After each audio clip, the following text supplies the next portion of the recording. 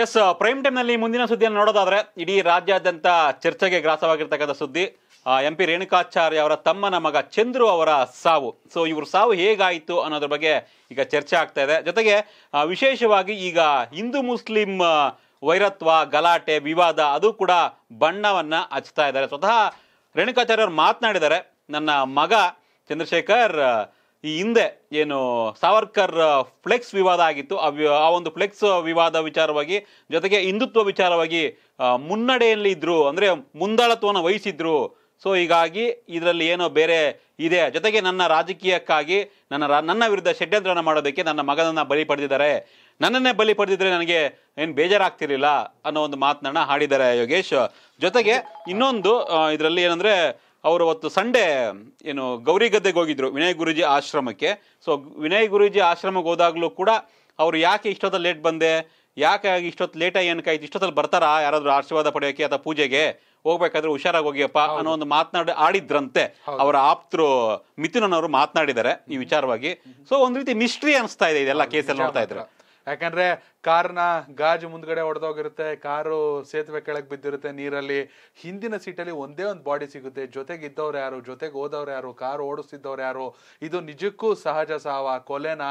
ಸಾಕಷ್ಟು ಅಂದ್ರೆ ನಿಜ ರೇಣುಕಾಚಾರ್ಯ ಅವರ ಮನಸ್ಸಲ್ಲಿ ಒಂದು ಏನು ಉಕ್ಕಿ ಉಕ್ಕಿ ಬರ್ತಿರೋ ಆ ದುಃಖವನ್ನ ನೋಡಿದ್ರೆ ನಿಜಕ್ಕೂ ಯಾವ ಕುಟುಂಬಕ್ಕೆ ಕೂಡ ಯಾರಿಗೂ ಕೂಡ, ಅಂದ್ರೆ ಪಿತೃವಿಯೋಗ ಅನ್ನೋದು ಎಷ್ಟು ಕಷ್ಟ. ನಿಜ ಮಾತ್ರ. ಅಂದ್ರೆ ಈ ಒಂದು ವಿನಯ್ ಗುರುಜಿ ಅವರು ಕೂಡ ಹೇಳಿದ್ದಾರೆ ಯಾಕೆ ಇಷ್ಟು ತಡವಾಗಿ ಬಂದ್ರಿ? ಇಷ್ಟು ಲೇಟಾಗಿ ಆಗಿ ಬರಬಾರ್ದಿತ್ತು ಹುಷಾರಾಗಿ ಹೋಗಿ ಅಂತ. ಅದಾದ್ಮೇಲೆ ಸಿ ಸಿ ಟಿವಿಲಿ ಗೊತ್ತಾಗಿದೆ ಅವರು ಹೊನ್ನಾಳಿಗೆ ಬಂದಿದ್ದಾರೆ. ಬಂದಿದ್ದಾರೆ ಆ ನಂತರದಲ್ಲಿ ಎಲ್ಲೋದ್ರು?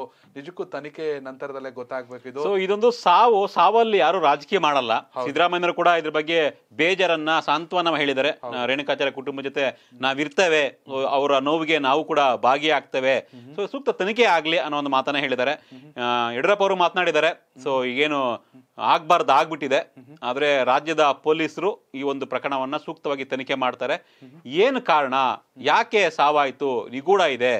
ಅನುಮಾನಾಸ್ಪದ ಸಾವಿದು ಅನ್ನೋ ಒಂದು ಕೇಸ್ ಈಗ ಫೈಲ್ ಆಗಿದೆ. ಹಿಂದೆ ನಾಪತ್ತೆ ಅಂತ ದೂರು ಕೊಟ್ಟಿದ್ರು ರೇಣುಕಾಚಾರ್ಯ ಅವರು. ಆ ಒಂದು ನಾಪತ್ತೆ ಕೇಸ್ ಈಗ ಅನುಮಾನಾಸ್ಪದ ಸಾವು ಅನ್ನೋ ಕನ್ವರ್ಟ್ ಆಗಿ ಮತ್ತೆ ಹೊಸ ದೂರನ್ನ ಕೊಟ್ಟಿದ್ದಾರೆ. ಹೀಗಾಗಿ ರಾಜ್ಯ ಪೊಲೀಸರು ಇದನ್ನ ಎನ್ಕ್ವೈರಿ ಮಾಡ್ತಾರೆ. ಏನು ಅಸಲಿಗೆ ಏನಾಯ್ತು. ಯಾಕಂದ್ರೆ ಸತ್ಯ ಬರ್ ಹೊರಬರ್ಬೇಕು. ಪ್ರಭಾವಿ ರಾಜಕಾರಣಿ ಸಿ ಎಂ ಅವರ ಕಾರ್ಯದರ್ಶಿ ರಾಜಕೀಯ ಕಾರ್ಯದರ್ಶಿ ಅವರ ತಮ್ಮನ ಮಗನಿಗೆ ಈ ತರ ಸಾವಾಯ್ತು ಅಂದ್ರೆ ಸೊ ಕಾನೂನು ಸುವ್ಯವಸ್ಥೆ ಎಲ್ಲಿಗೆ ಬಂತು? ಏನ್ ಕಾರಣ ಇದು? ಕೊಲೆ ಆಗಿದ್ಯಾ? ಇಲ್ಲ ಆತ್ಮಹತ್ಯೆ ಆಗಿದ್ಯಾ? ಇಲ್ಲ ಆಕ್ಸಿಡೆಂಟ್ ಆಯ್ತಾ? ಹೌದು. ಮೂರೇ ಕೊಲೆ ಆತ್ಮಹತ್ಯೆ ಆಕ್ಸಿಡೆಂಟ್. ಈ ಮೂರು ಆಂಗಲ್ಸ್ ಇಂದ ತನಿಖೆ ಮಾಡಿದ್ರೆ ಏನ್ ನಿಜಾಂಶ ಅನ್ನೋದು ಗೊತ್ತಾಗುತ್ತೆ. ಆದಷ್ಟು ಬೇಗ ಸತ್ಯ ಹೊರಬರ್ಲಿ ಅಂತ ನಾವು